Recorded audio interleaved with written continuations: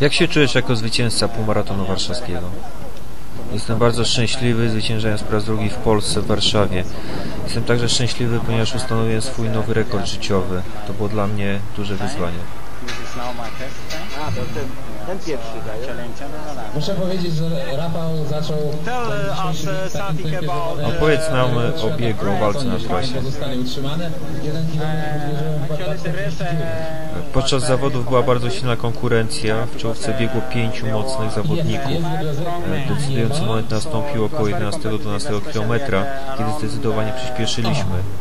Rozpadła się wtedy nasza grupka, ale to nie było łatwe zadanie.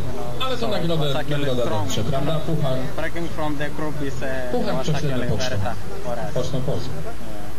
To zrób mi ze zdjęcie. Uh, Jak Ci się Warsaw? podoba Polska? Co myślisz o naszym mieście?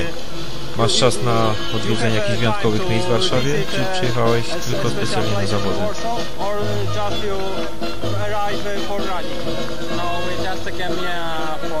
Przyjechaliśmy tutaj na zawody. Mieliśmy tylko problem, ponieważ w Polsce było bardzo zimno.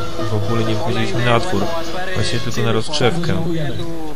Wczoraj dopiero wyszliśmy także na spacer po okolicy, aby obejrzeć trochę miasto. Warszawa jest bardzo sympatycznym, dużym miastem. Dobrze się tutaj czuję.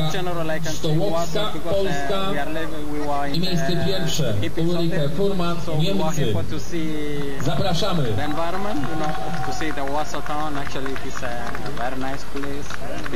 Pani Ulrike, to już chyba zaprzyjaźniona, prawda? Markus,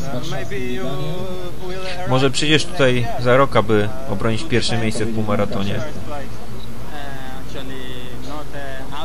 Prawdopodobnie przyjadę nawet wcześniej, e, we wrześniu, aby wystartować na dystansie pełnego maratonu. Tak więc jak najbardziej planuję ponownie przyjechać do Polski.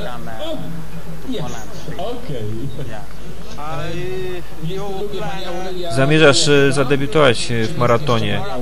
E, Jaki czas e, planujesz zrobić? I miejsce trzecie Suzana Atultania, Wielka Brytania. Będę szczęśliwy, jeśli uda mi się powiedzieć w czasie 2 godziny 12 minut e, w roli debiutanta, ale zdaję sobie sprawę, że jest to bardzo trudne. Wielu dobrych biegaczy debiutując biegnie z czasem e, 2.14-2.13, a ja będę szczęśliwy, jeśli uda mi się zrobić czas około 2 godzin 12 minut. Przypomnę, Ryk Żynę, We heard extraordinary Słyszeliśmy niezwykłą historię o Twoich e, czerwonych butach. Powiedz nam coś o tym. Czy rzeczywiście startowałeś w nowych butach? Tak, to prawda, startowałem w nowych butach. Organizator zapewnił mi nowe buty i ja to po prostu zrobiłem i w nich pobiegłem. Miałem taką możliwość, z której skorzystałem i jak widać nie przeszkodziło mi to zwyciężyć w zawodach. Czasem, kiedy zakładasz nowe buty, możesz mieć duże problemy ze stopami, ale ja żadnych nie miałem i wszystko było w porządku.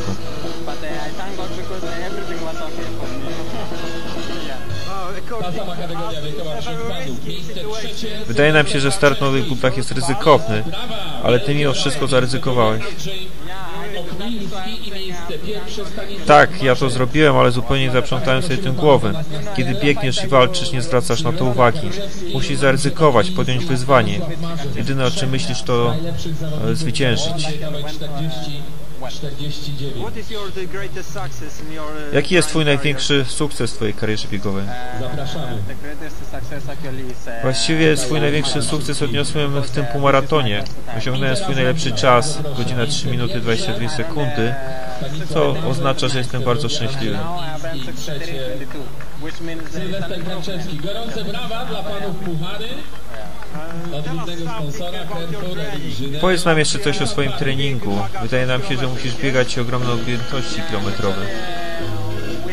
Tak, musimy trenować bardzo dużo, ponieważ aby w takim czasie trzeba się solidnie przygotować. Podstawą jest e, wytrzymałość.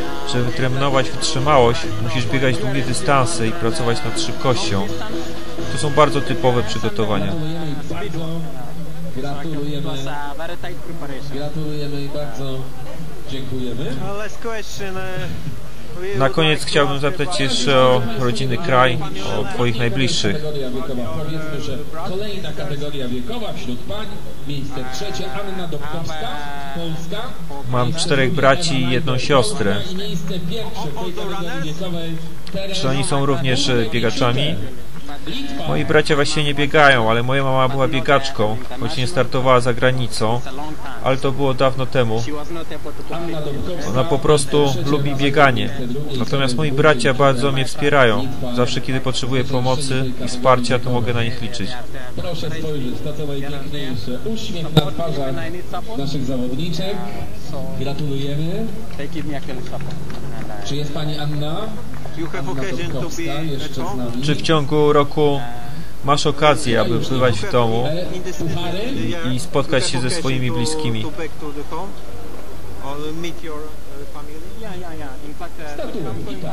Tak, tak, mam taką okazję jeździć do Kenii. Wygrywam dla moich bliskich. Myślę, że im to sprawia ogromną radość.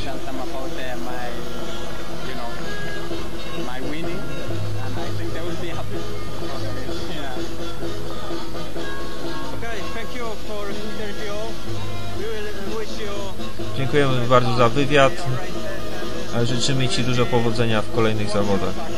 Będziemy trzymać za Ciebie kciuki.